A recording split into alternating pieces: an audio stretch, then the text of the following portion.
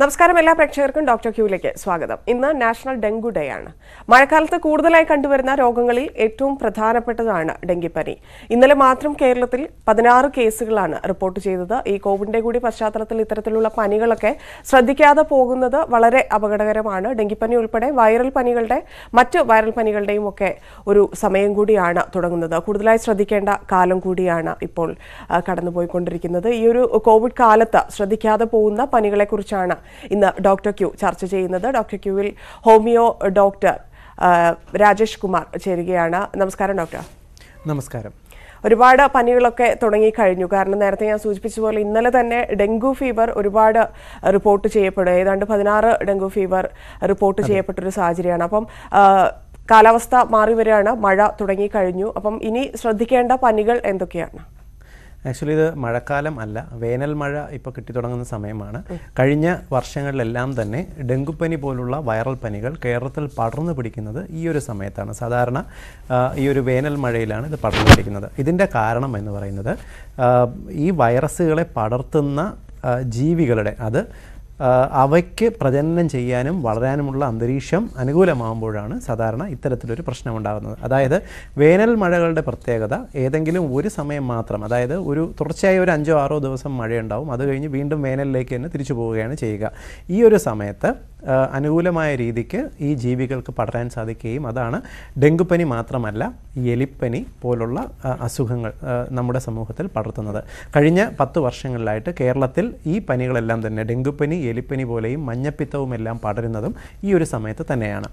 ഇന്ന് അതിന്റെ ഒരു അവയർനെസ്സിന്റെ ഭാഗമായിട്ടാണ് ഇന്നത്തെ ദിവസം നാഷണൽ ഡെങ്കു ഡേ ആയിട്ട് ആചരിക്കുന്നത്. ഓക്കെ ഡെങ്കുവിന്റെ കാര്യം മാത്രം പറയുകയാണെങ്കിൽ ഡോക്ടർ എന്തൊക്കെയാണ്? ഹോമിയോയിൽ പറയുന്ന മെഡിസിൻസ് എങ്ങനെയാണ്? ഇല്ലെങ്കിൽ ശ്രദ്ധിക്കേണ്ട കാര്യങ്ങൾ എങ്ങനെയാണ്? ഡെങ്കു ആണ് ഈ ഒരു സമയത്ത് ഏറ്റവും കൂടുതലായിട്ട് റിപ്പോർട്ട് ചെയ്യപ്പെട്ടിട്ടുള്ളത്. അതെ. സാധാരണഗതിയിൽ ഇപ്പോൾ ഒരുപക്ഷെ കൊറോണ വൈറസ് ഈ നാട്ടിലേക്ക് എത്തിയിട്ടില്ലായിരുന്നുവെങ്കിൽ ഒരുപക്ഷെ നമ്മൾ ഏറ്റവും കൂടുതൽ ശ്രദ്ധിക്കുന്നതും അവയർനെസ് കൊടുക്കുന്നതും ഡെങ്കുപ്പനിയെക്കുറിച്ച് തന്നെയായിരുന്നേനെ. സാധാരണ ഡെങ്കുപ്പനി കേരളത്തിൽ ഐ മീൻ മനുഷ്യരിൽ സാധാരണ പടർന്നു പിടിക്കുന്നത് മനുഷ്യരിലേക്ക് പടർത്തുന്നത് ഏഡിസ് എന്ന് പറയുന്ന വിഭാഗത്തിൽപ്പെട്ട കൊതുകുകളാണ്. സാധാരണ നമ്മൾ ടി വിയിലെല്ലാം പരസ്യം കാണാറുണ്ട്. കൊതുക് കടിക്കുന്നത് രാത്രിയാണ്. നമ്മൾ പുതപ്പ് മാറ്റുമ്പോൾ കൊതുക് കടിക്കുന്നു എന്ന് പറയുന്ന ഒരു വിഭാഗത്തിൽപ്പെട്ട കൊതുകല്ല. ഏഡിസ് ഈജിപ്റ്റി സാധാരണ നമ്മൾ വീട്ടിൽ മുറ്റത്തിരിക്കുമ്പോഴോ ഇല്ലെങ്കിൽ നമ്മൾ അടുക്കളയിൽ നിൽക്കുമ്പോഴോ എല്ലാം നമ്മൾ അറിയാതെ തന്നെ നമ്മുടെ കാലുകളിലും കൈകളിലും വന്ന് വലിയ വേദനയുണ്ടാക്കാതെ കടിച്ചു പോകുന്ന വളരെ സൈലന്റ് കൊതുകുകളാണ് ഏഡിസ് ഈജിപ്റ്റി എന്ന വിഭാഗത്തിൽപ്പെട്ടത്. അതുകൊണ്ട് തന്നെ ഈ കൊതുകുകളെ നശിപ്പിക്കുക എന്നുള്ളത് തന്നെ നമുക്ക് ഡെങ്കുപ്പനിയെ പ്രതിരോധിക്കാനുള്ള ഏറ്റവും പ്രധാനപ്പെട്ട കാര്യം. ഇതിനകത്ത് ശ്രദ്ധിക്കേണ്ട ഒരു കാര്യം സാധാരണ വേനൽക്കാലത്ത് പെയ്യുന്ന മഴയിൽ നമ്മുടെ വീട്ടിലും പരിസരത്തുമായിട്ട് വെള്ളം കെട്ടി നിൽക്കാനുള്ള ഏതെങ്കിലും സാഹചര്യമുണ്ടെങ്കിൽ അത് ഒരുപക്ഷെ ഒരു കുപ്പിയുടെ അടപ്പ് മുതൽ പുറത്ത് കിടക്കുന്ന ഒരു പ്ലാസ്റ്റിക് കവറിൽ മുതൽ പ്ലാസ്റ്റിക് പാത്രങ്ങൾ പഴയ ടയറുകൾ ഇതിനകത്തെല്ലാം തന്നെ മഴവെള്ളം ശേഖരിക്കപ്പെടുകയും അതിനകത്ത് ഈ കൊതുക് വളരെ പെട്ടെന്ന് മുട്ടയിട്ട് പെരുകുകയും ചെയ്യുന്നു. ഈ കൊതുകാണ് സാധാരണഗതിയിൽ ഡെങ്കുപ്പനി നമ്മുടെ നാട്ടിൽ പടർത്തുന്നത്. സാധാരണ ഏതൊരു പനിയും പോലെ നമ്മളിപ്പോൾ കൊറോണ വൈറസിന് കാണുന്നതും അതിനകത്ത് പറയുന്നത് പോലുള്ള സാഹചര്യം തന്നെയാണ്. നമുക്ക് ഒരാളുടെ ശരീരത്തിലേക്ക് വൈറസ് കയറി കഴിഞ്ഞാൽ അത് മിനിമം ഒരു ഒരാഴ്ച ഇൻക്യുബേഷൻ പീരീഡ് ഉണ്ടാവും. അത് കഴിയുമ്പോൾ ഒരു പനിയായിട്ട് സ്റ്റാർട്ട് ചെയ്യുന്നു.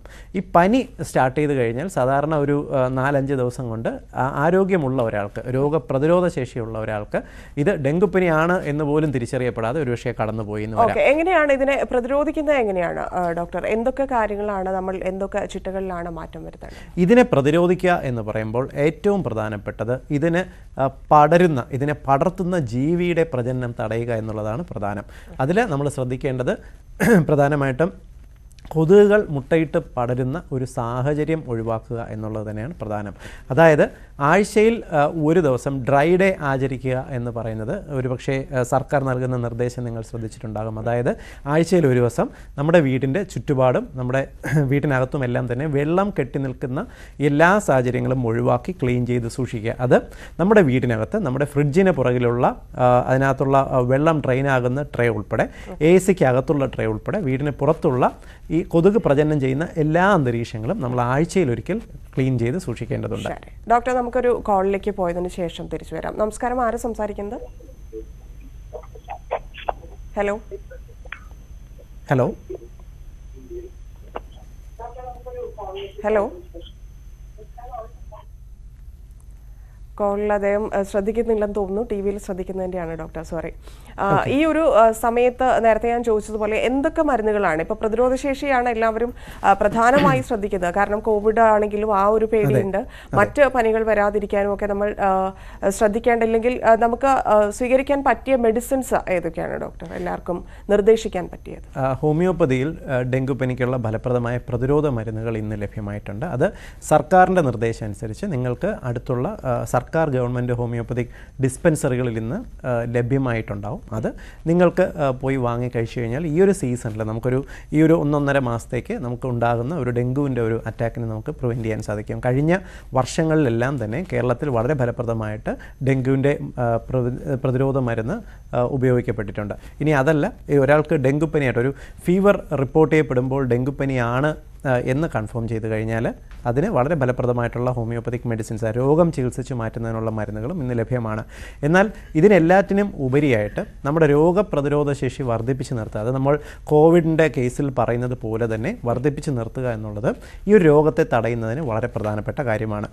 പ്രധാനമായിട്ടും ഡെങ്കു വൈറസ് നാല് തരത്തിലുള്ള സ്ട്രാൻസ് ഉണ്ട്.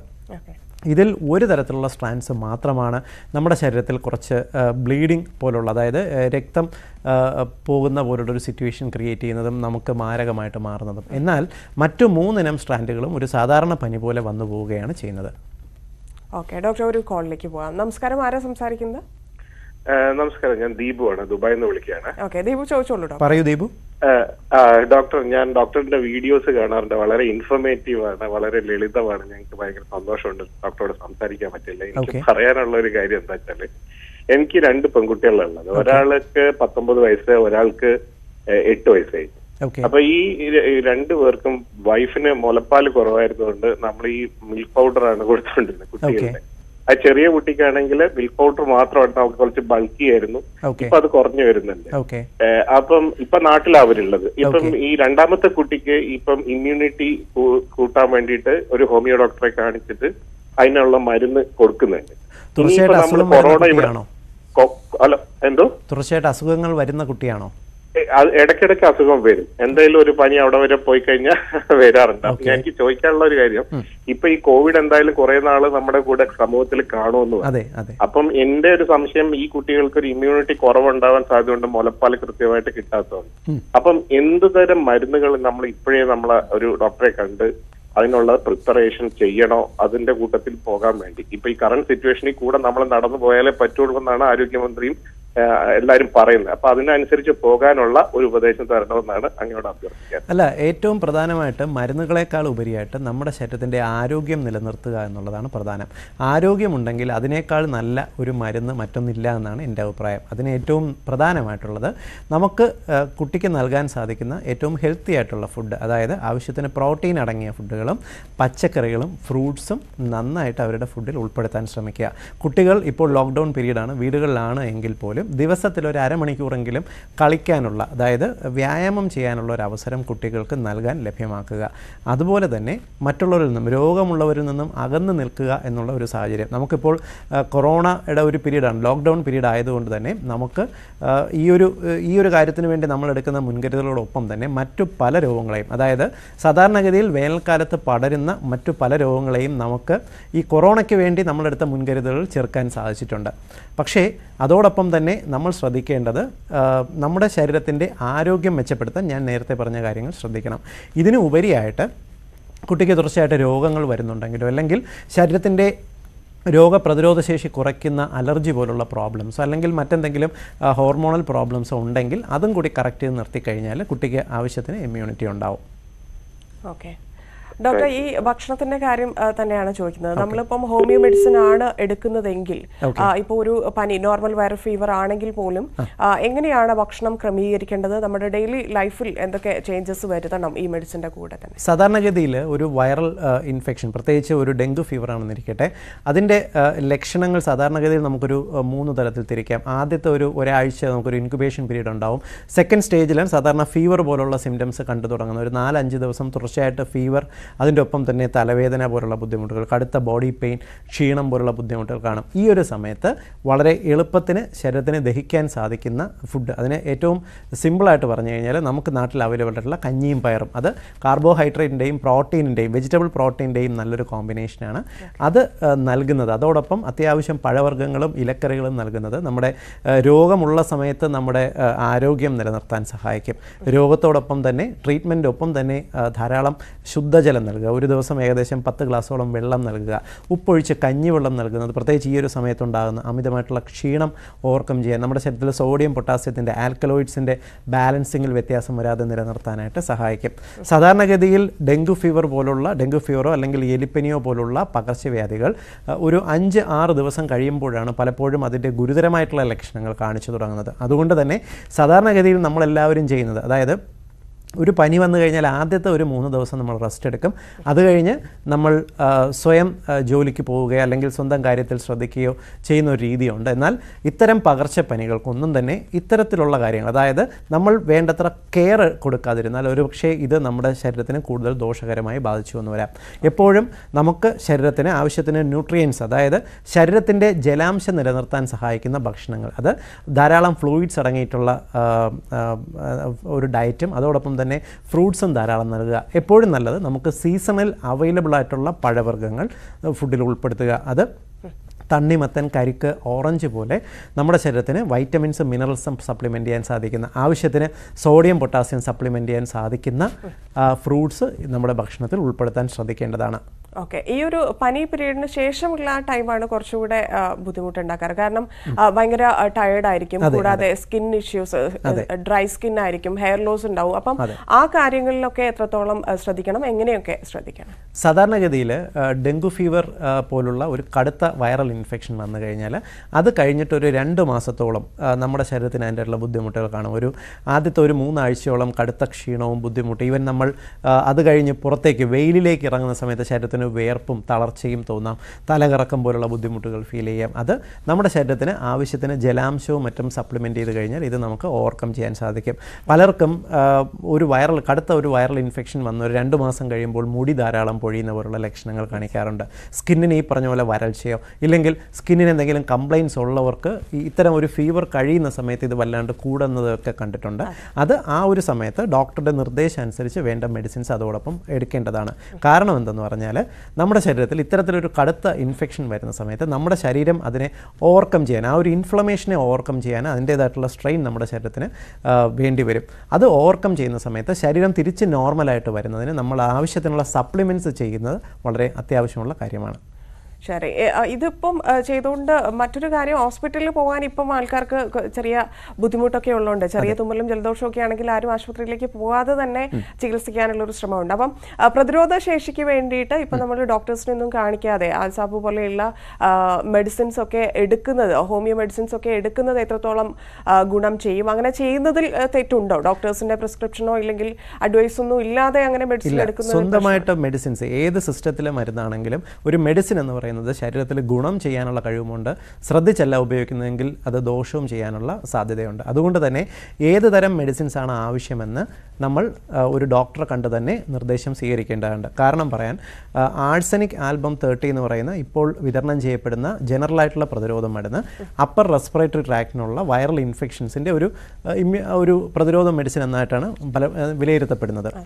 പക്ഷേ ഇതിനകത്തുള്ളൊരു പ്രോബ്ലം ഡെങ്കു ഫീവർ പോലുള്ള ഒരു ഇൻഫെക്ഷൻ ഇത്തരത്തിൽ വരുന്ന ഒരു രോഗമല്ല. അത് രക്തത്തിലേക്ക് വൈറസിനെ ഇനോക്കുലേറ്റ് ചെയ്ത് കടുത്ത പനിയായിട്ട് തുടങ്ങുന്ന ഒരു രോഗമാണ്. ഇതിന് ആഴ്സാൽബ് മാത്രമല്ല അതിന് സ്പെസിഫിക് ആയിട്ടുള്ള മെഡിസിൻസ് ഹോമിയോപ്പതിയിൽ ലഭ്യമാണ്.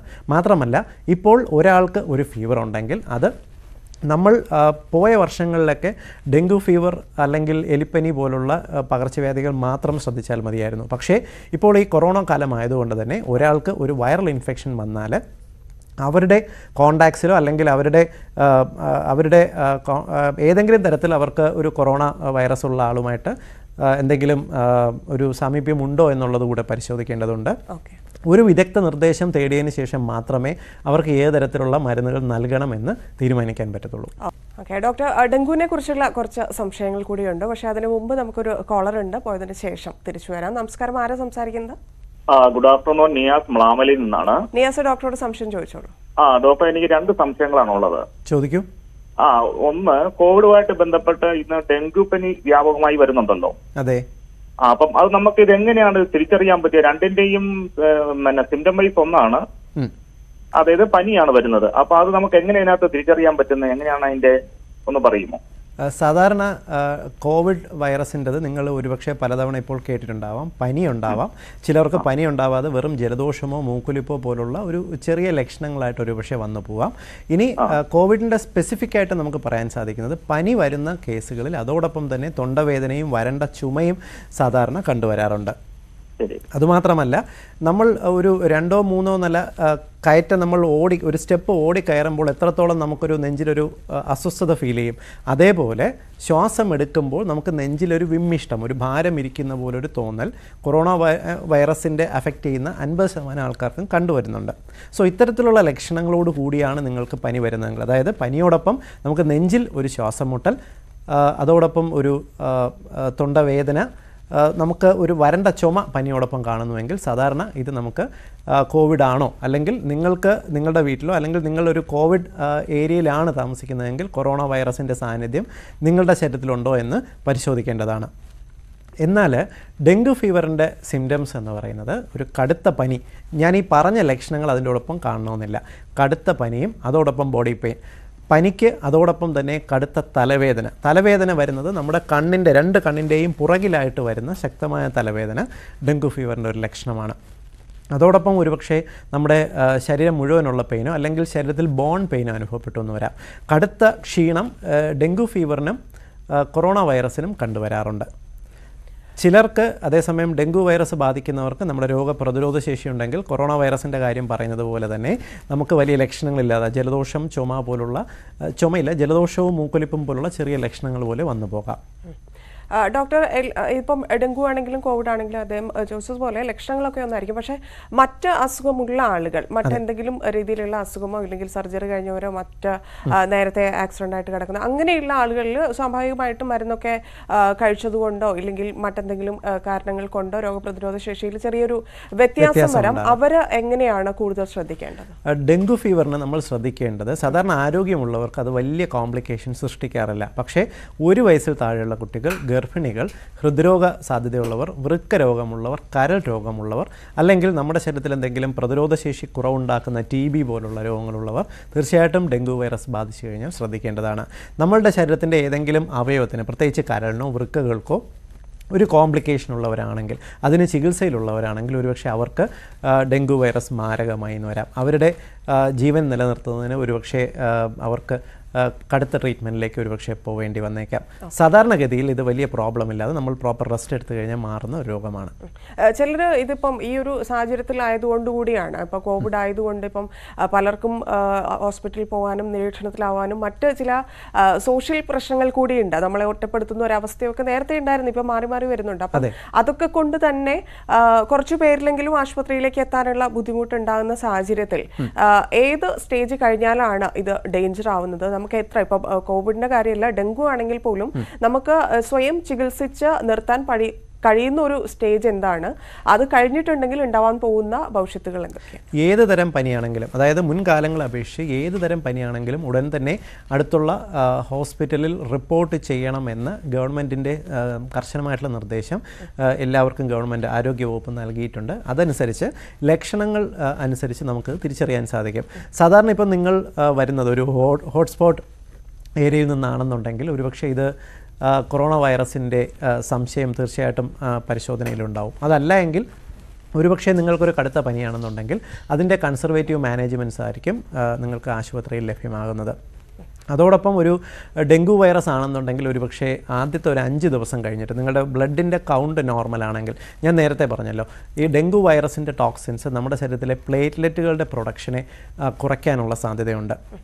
ഇത് രണ്ട് തരത്തിലാണ് സാധാരണ കോംപ്ലിക്കേഷൻ ഉണ്ടാക്കുന്നത്. ഒന്ന് നമ്മുടെ ബ്ലഡ് വോളിയം കുറയുന്നത് കൊണ്ട് നമുക്കൊരു പക്ഷേ തലകറക്കം പോലുള്ള പ്രോബ്ലംസ് ഹൃദയത്തിന്റെ മിടിപ്പിന് ബുദ്ധിമുട്ടുകൾ ശരീരത്തിന് അനുഭവപ്പെട്ടുന്ന ഒരു ലോ ബി പി ആകുന്നതിന്റെ കോംപ്ലിക്കേഷൻ വരാം. ഇല്ലെങ്കിൽ രണ്ടാമത്തത് നമ്മുടെ ശരീരത്തിനകത്ത് ബ്ലീഡിങ് ടെൻഡൻസി ഉണ്ടാക്കാം. പലപ്പോഴും ഇന്റേർണൽ ഹെമറേജസ് ഉണ്ടാകാനുള്ള സാധ്യതയുണ്ട്. ഈ കോംപ്ലിക്കേഷൻ എല്ലാം തന്നെ ഡെങ്കു ഫീവറിനുണ്ടാകുന്നത് ഒരു നാലോ അഞ്ചോ ദിവസം കഴിഞ്ഞിട്ടാണ്. അതുകൊണ്ട് തന്നെ ഒരു ഡെങ്കു ഫീവർ ആണ് എന്ന് ഐഡന്റിഫൈ ചെയ്ത് കഴിഞ്ഞാൽ അവർക്കൊരു മൂന്നോ നാലോ ദിവസം കൊണ്ട് പനി മാറുകയാണെങ്കിൽ പോലും കോൺസ്റ്റന്റ് ആയിട്ട് ബ്ലഡ് ടെസ്റ്റ് ചെയ്തിട്ട് കോംപ്ലിക്കേഷൻ ഉണ്ടാകുന്നുണ്ടോ എന്ന് പരിശോധിക്കേണ്ടതാണ്. മറ്റൊരു പ്രധാന പ്രശ്നം ഡോക്ടർ ഇപ്പം ഈ ഈ ഒരു സമയത്ത് ഇപ്പം ലോക്ക്ഡൌണിന് ശേഷമോ അല്ലെങ്കിൽ കോവിഡ് തുടങ്ങിയതിന് ശേഷമോ ഇപ്പോൾ ഡെങ്കുവിന്റെ സമയമായ നേരത്തോ ആളുകളിൽ നേരത്തെ എനിക്ക് ഈ അസുഖം ഉണ്ടായിരുന്നു ഇല്ലെങ്കിൽ എനിക്ക് മാസങ്ങളായിട്ട് ഈ ജലദോഷമുണ്ട് എല്ലാ വർഷവും വരുന്ന കോൾഡാണ് എന്നൊക്കെ പറഞ്ഞിട്ട് നമ്മൾ അതിനെ അവോയ്ഡ് ചെയ്യുന്നൊരു ചിലരെങ്കിലും അങ്ങനെ ചെയ്യുന്നുണ്ട്. അപ്പം അവർ എന്താണ്? അത് അങ്ങനെ നമ്മൾ തള്ളിക്കളയേണ്ട ഒരു കാര്യമാണോ? ഇല്ലെങ്കിൽ എത്രത്തോളം ശ്രദ്ധ അതിലൊക്കെ വരുത്തേണ്ടതുണ്ട്. ഏത് തരം പനിയാണെങ്കിലും അതിനെ മാനേജ് ചെയ്യുക എന്നുള്ളത് പ്രധാനപ്പെട്ട കാര്യമാണ്. ഉദാഹരണം ഇപ്പോൾ കൊറോണയാണ് ഒരാൾക്ക് വന്നിരിക്കുന്നതെന്നിരിക്കട്ടെ അല്ലെങ്കിൽ അവർക്കിപ്പോൾ വളരെ യാദൃശ്യമായിട്ട് സമൂഹത്തിൽ ഇറങ്ങുകയും ആരെങ്കിലുമായിട്ടൊരു കോൺടാക്റ്റിൽ കിട്ടിയെന്നിരിക്കട്ടെ അവർക്ക് രോഗപ്രതിരോധ ശേഷി ഉണ്ടെങ്കിൽ അതൊരു പക്ഷേ കോംപ്ലിക്കേഷൻ ഉണ്ടാക്കത്തില്ല. പക്ഷേ അവരുടെ കുടുംബത്തിൽ രോഗപ്രതിരോധ ശേഷി കുറഞ്ഞ ആൾക്കാർക്ക് ഇത് അവരിൽ നിന്നും പകരുകയാണെങ്കിലോ ഇത് വളരെ മാരകമായേക്കാം. അതുകൊണ്ട് തന്നെ ഇത് ജലദോഷമോ ചുമയോ എന്ത് തരം അസുഖമോ ആണോ അത് എന്താണെന്ന് ഐഡന്റിഫൈ ചെയ്യുക എന്നുള്ളത് പ്രധാനമാണ്. ഈ ഒരുപക്ഷെ ഇത് നിങ്ങൾക്ക് മുൻപ് വരുന്ന തരം രോഗമായിരിക്കാം അലർജി രോഗമായിരിക്കാം. പക്ഷേ അത് സ്വയം നിശ്ചയിക്കുന്നതിന് പകരം ഒരു ഡോക്ടറുടെ അഭിപ്രായം കൂടി ഈ ഒരു സമയത്ത് തേടുന്നത് തെറ്റില്ല. നമ്മുടെ ഇപ്പം ഡെയിലി റൊട്ടീൻ നേരത്തെ പറഞ്ഞതുപോലെ ഇപ്പം നമ്മൾ രാവിലെ എണീക്കുന്നത് മുതൽ രാത്രി ഉറങ്ങുന്നത് വരെയുള്ള കാര്യങ്ങൾ ഒരുപാട് ചേഞ്ചസ് ഈ ഒരു ലോക്ക്ഡൗൺ ടൈമിൽ വന്നു. അപ്പം. ആരോഗ്യ കാര്യത്തിലാണ് നമുക്ക് ഈ കുറച്ചുകൂടി നമ്മൾ മുന്നോട്ട് പോയിരിക്കുന്നത്. മറ്റെല്ലാത്തിലും നമ്മൾ ഉറക്കത്തിന്റെ കാര്യത്തിലും ഭക്ഷണത്തിന്റെ കാര്യത്തിലും ഒക്കെ നമ്മൾ പുറകോട്ട് പോവുകയാണെങ്കിലും വൃത്തിയുടെ കാര്യത്തിൽ നമ്മൾ മുമ്പോട്ട് പോവുകയാണ്. അത് നമ്മുടെ അനുഭവങ്ങൾ മറ്റു രാജ്യങ്ങളിൽ നടക്കുന്നതൊക്കെ കണ്ടിട്ട് ചിലർ ഭയം കൊണ്ട് ചിലർ നേരത്തെ ചെയ്യുന്നത് കണ്ടിന്യൂ ചെയ്യുന്നു. മറ്റു ചിലർ പുതുതായി തുടങ്ങുന്നു എന്ന വ്യത്യാസം മാത്രമേ ഉള്ളൂ. അപ്പം അത് ഇനി ഏത് രീതിയിലായിരിക്കും? ഭാവിയിൽ നമുക്കതെങ്ങനെ ഗുണം ചെയ്യും? നമ്മൾ ഇത് തന്നെ കണ്ടിന്യൂ ചെയ്യേണ്ടതല്ലേ നിലവിലെ സാഹചര്യത്തിൽ? നിലവിലുള്ള സാഹചര്യം നമ്മൾ ഈ ഒരു മുൻകരുതൽ. കാരണം എപ്പോഴും നമ്മൾ ശ്രദ്ധിക്കേണ്ടത് നമ്മൾ വീട്ടിലിരിക്കുന്ന സമയമല്ല. നമ്മൾ പുറത്തേക്ക് ഇറങ്ങുന്ന സമയത്ത് നമ്മളൊഴികെ നമുക്ക് ചുറ്റുമുള്ള എല്ലാവരും കൊറോണ വൈറസ് വാഹകരാണ് എന്ന രീതിയിൽ നമ്മൾ മുൻകരുതലെടുത്താൽ നമുക്ക് കൊറോണ വൈറസിനെ മാത്രമല്ല നമ്മുടെ സമൂഹത്തിൽ പടരുന്ന ഈ ഒരു സമയത്ത് പടരുന്ന മറ്റു പല രോഗങ്ങളെയും തടയാൻ സാധിക്കും. ഉദാഹരണം പറഞ്ഞാൽ നമ്മുടെ നമ്മൾ മഴക്കാലത്ത് സാധാരണ കെട്ടിക്കിടക്കുന്ന വെള്ളത്തിൽ കൂടി പടരുന്ന ഒരു അസുഖമാണ് എലിപ്പനി അഥവാ ലെപ്റ്റോസ്പൈറോസിസ് നമ്മൾ അത്യാവശ്യം നമ്മൾ യാത്ര ചെയ്യുന്ന സമയത്ത് വേണ്ട മുൻകരുതലെടുക്കുക അഴുക്ക് ചാലിൽ നിന്ന് അകന്നു നിന്നാലും നമുക്ക് ഇത്തരം രോഗങ്ങളെ ഒഴിവാക്കാൻ സഹായിക്കും.